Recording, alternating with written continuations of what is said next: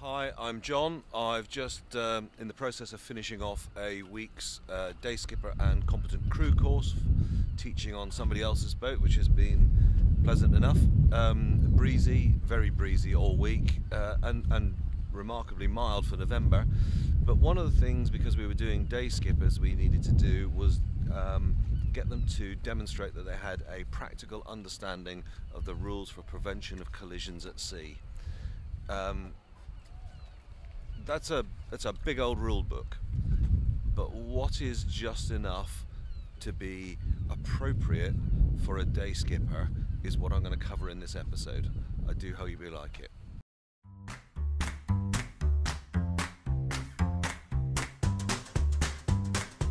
It's fair to say that sailing in the Solent allows you very large amount of opportunities to encounter examples for testing a student's ability to understand the rules for the provision, prevention of collision at sea. Um, everything from non-displacement craft, restricted inability to manoeuvre, constrained by draft, power vessels, sailing vessels, all of them appear in the Solent pretty frequently. And what I try to teach people to do is to look at the situation, understand whereabouts in the rule book we are. Is it an overtaking situation? Is it a crossing situation? Is it a power versus or a power against sail um, situation? Then what is the nature of the responsibility between vessels? Who is stand on? Who is give way?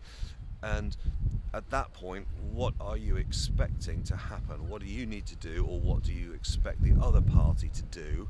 And what are you going to do if that doesn't happen?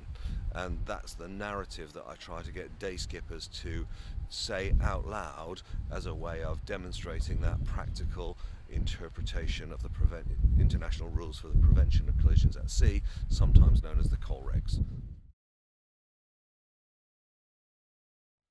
the collision regs are quite difficult to teach on a course because you pretty much have to wait for situations to generate uh, as you're doing the course and then hope that the right learning points can come out, uh, certainly from a practical point of view one of the things that I try to um, communicate early on is that there isn't really such a thing as a right of way. People talk about right of way, but there isn't. There is a stand on vessel and a give way vessel. Sometimes there are two give way vessels. So, for example, when two vessels are approaching one another head head on, they both have to give way. Neither has um, total rights. And Uh, the way I bring this out is to say that should there be a collision at sea, it is very much the case that both parties are very likely to be found at least partially to be at fault. It's it's not the case that somebody will be in the right and somebody will be in the wrong. If there's a collision, then both people have made a little bit of a mess of it. So no right of way is a is an early lesson that I try to bring out. The next most important thing is to deal with the rules concerning sailing vessels meeting one another. Um, and at this point, what you need to, what I try to do is bring out early the idea that sailing vessels are on a given tack depending on where the wind is relative to them. So the vessel with the wind on its port side shall keep out of the way of a vessel with the wind on the starboard side. Now that gives rise to the idea of that you need to know which tack you're on and if you are carrying your boom over on the port side, then you have the wind on the starboard side, you are on the starboard tack. An easy way to remember this is if you're on the right, you're in the right. That is the idea that if you're standing on the right hand side, the starboard side of your boat, with the sails on the opposite side, then you are the stand on vessel when two sailing vessels meet. Except, of course, when the sailing vessels that are meeting are both on the same tack, at which point it's the vessel that is the windward has the responsibility to give way. Just to illustrate this, here the boom is out to port, the wind is on the starboard side, this vessel is on a starboard. In this example, we're on the port tack and must give way to the vessel coming towards us with the wind coming over her starboard side on the starboard tack. Just to give a little bit of context, we just finished doing drills in Osborne Bay and we're about to beat our way round to Cowes. He was coming out of Cowes and about to go very much downwind. Very much our job as the port tack vessel to stay well clear of him. We were the giveaway vessel. In this case, however, we're on the starboard tack, as is this vessel to leeward of us. So we are the giveaway vessel. He is stand on. In this case, we were converging gently as we were going round the point, but it was very much our job to give way to him, and we needed to know that.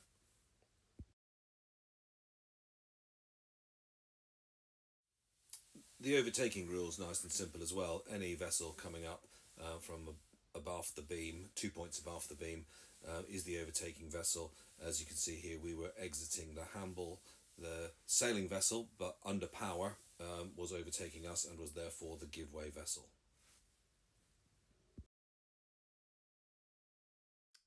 Power driven vessels meeting head on, I've mentioned already, as a situation where two vessels are give way, and it's a, it's a fairly simple rule.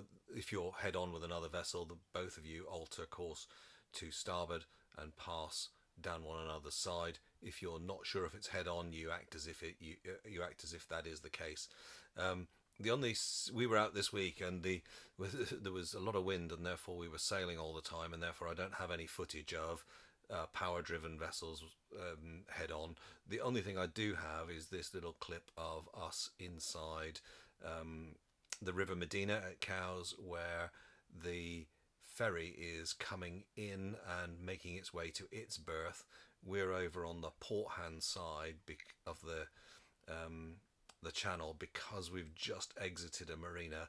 Um, we, we didn't alter course in order to get across the starboard side of this ferry. That that just made no sense, and I, I hope that makes the point that you actually have to put these rules into the context in which you're in at the time. I similarly don't have much footage of crossing situations between power vessels. As I say, most of the time we were sailing.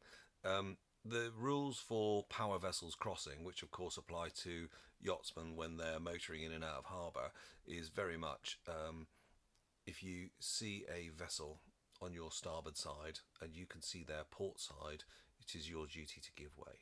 I would like to remember this with the if to starboard red appear, tis your duty to keep clear. Um, that's probably why um, the captain's cabins on big ships are also on the starboard side, so they can keep an eye out.